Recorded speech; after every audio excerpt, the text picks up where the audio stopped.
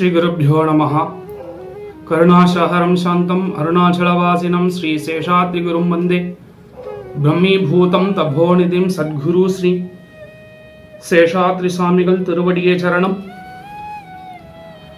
எல்லாம் வல்ல சத்குரு ஸ்ரீ சேஷாத்ரி சுவாமிகளுடைய அனுகிரகத்தாலும் சொர்ணாகிருஷ்ண பைரவருடைய கிருபா கடாட்சத்தாலும் பைரவ குருஜினுடைய பரிபூர்ண ஆசிர்வாதத்தாலும் குரு கட்டாட்சம் அப்படின்னு சொல்லக்கூடிய சில மணி நேரங்கள் சில நிமிடங்கள் குரு பக்தியை பற்றியும் குருநாதருடைய மகிமை பற்றியும் சிந்திக்க போறோம்.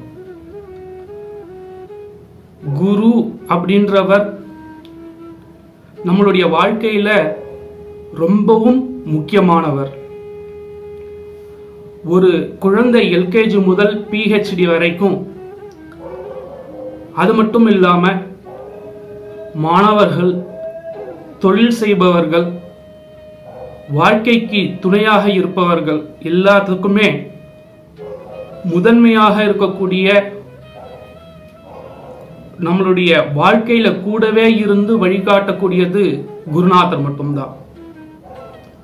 அப்பேற்பட்ட குருநாதரை பத்தி இன்றைய தினத்தில் பேசுறதுக்கு வாய்ப்பு கிடைச்சதுக்கு குருநாதருக்கு என்னுடைய நமஸ்காரத்தை தெரிவிச்சுக்கிறோம்.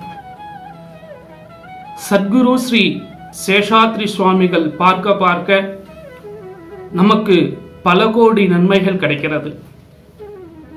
குரு பார்க்க கோடி நன்மை அப்படின்னு சொல்லுவார் சேஷாத்ரி சுவாமிகளை நம்ம நம்ம அவரை பார்க்கறதும் அவர் நம்மளை பார்க்கறதும் நம்ம மேல இருக்கக்கூடிய கர்மாக்கள் எல்லாத்தையுமே அவருடைய தீக்ஷண்யமானது போக்கிவிடும் அப்படின்னு பைரவ குருஜி சொல்லுவார்.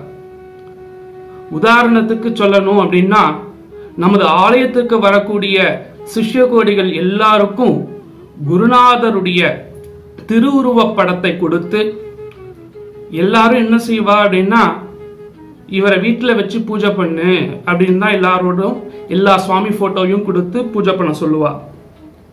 ஆனா நமது குருஜி அவர்கள் என்ன சொல்வார் அப்படின்னா உன்னுடைய வீட்டை பார்த்தாப்புல குருநாதர் போட்டோவை மாட்டு. அவருடைய அனுக்கிரகம் உன்னை பார்த்து எப்பொழுதும் இருக்கணும் அப்படின்னு சொல்லுவார். அதே போல நம்மளுடைய சிஷ்ய கோடிகளுடைய கிரகத்துல எல்லா இடத்துலயும் பார்த்தேன்னா குருநாதர் வீட்டை பார்த்து மாட்டியிருப்பார். குரு பார்க்க பார்க்க பல கோடி நன்மைகள் கிடைக்கும். சத்குரு சேஷாத்ரி சுவாமிகள் ஒரு மிகப்பெரிய ஞானி. குரு அப்படின்றதுக்கும் மகான் அப்படின்றதுக்கும் சித்தர் அப்படின்றதுக்கும் குருஜி அப்படின்றதுக்கும் பலவிதமான வித்தியாசங்கள் இருக்கு. ஆக மொத்தத்துல எல்லாருமே குரு அப்படின்ற கேட்டகரியில வந்தாலும் ஒவ்வொரு ஸ்டேஜ் ஒவ்வொரு ரேங்க்ல வந்துட்டு இருப்பா ஆனா எல்லாத்துக்கும் மேலாக இருக்கக்கூடியவர் மகான் அப்படின்னு சொல்லக்கூடிய வார்த்தை. இது யாருமே அவருக்கு பட்டமாகவோ இதாவோ கொடுக்கல. மகான் அப்படின்னா நம்ம அவரை பார்க்கும் பொழுதே நம்மளுடைய ஹிருதயத்துல ஆத்மார்த்தமா உள்ளிருந்து பொங்கக்கூடிய அன்பிற்கு பேர் தான் அந்த குரு பக்தி. அந்த குரு பக்தி சேஷாத்ரி சுவாமிகளை பார்க்கும் பொழுதே மனமுருகி வேண்டும் பொழுதே கண்டிப்பாக நமக்குள்ள பொங்கி வரும். பொங்கி வர்றது அப்படின்னா குருநாதருடைய அனுகிரகம் நமக்கு இருக்கு அப்படின்னு அர்த்தம். சேஷாத்ரி சுவாமிகளை அவ்வளவு எளிதாக யாரும் போய் வழிபட முடியாது. ஏன் அப்படின்னா சேஷாத்ரி சுவாமிகளை பார்க்கும்போதே பலவிதமான பக்தர்களுக்கு பலவிதமான பயம் தோன்றும். நம்ம மனசுல என்ன நினைச்சுன்னு இருக்கோம் அப்படின்றத பட்டார்னு போட்டு சபையில உடைச்சிடுவார். நம்ம நல்ல எண்ணத்தோட அவரை போய் வழிபாடு செய்தோம் அப்படின்னா அவர் சுவாமி அனுகிரகத்தால அவருடைய அனுகிரகம் நமக்கு கிடைச்சு நமக்கு மேலோங்கி நல்லது நடக்கும்.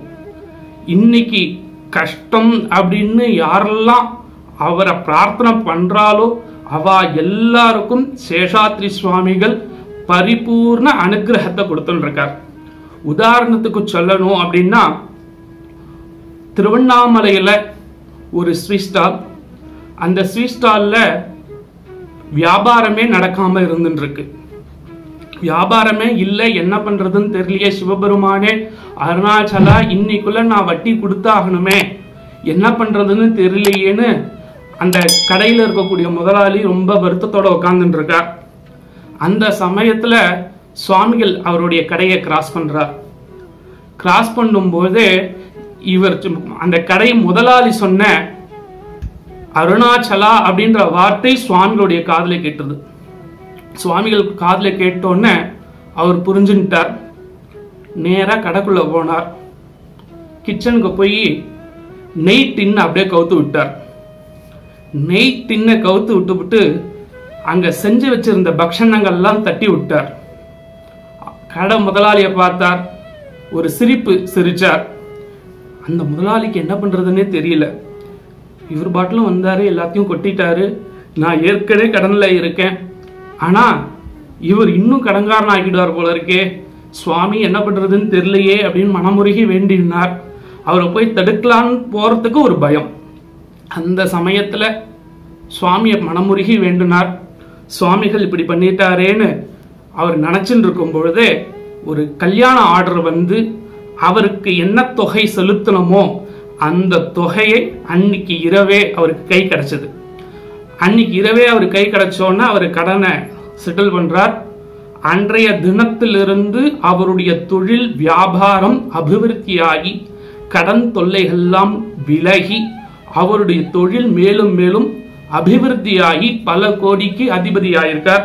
இன்றும் திருவண்ணாமலையில அந்த கடை இருக்கு. சுவாமிகளை பற்றி சொல்லணும் அப்படின்னா நாள் கணக்காக சொல்லிகிட்டே இருக்கலாம். இந்த சுவாமிகளுடைய வரலாற்றில் ஒரு சிறு துளியை இன்னைக்கு சொல்லியிருக்கோம்.